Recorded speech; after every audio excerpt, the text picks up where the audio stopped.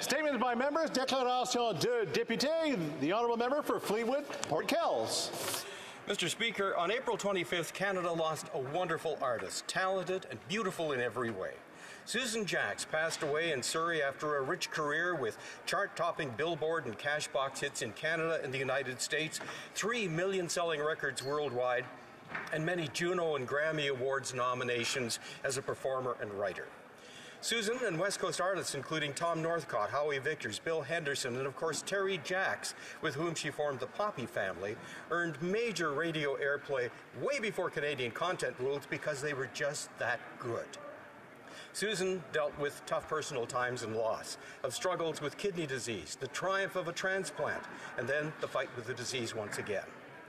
Turns out Burton Cummings and I share the same favorite Susan Jacks song with a title line that best suits her memory. For the sun shines for those who look beyond the clouds. Enjoy your eternal sunshine, Susan. You've taken the love of your fans and friends with you.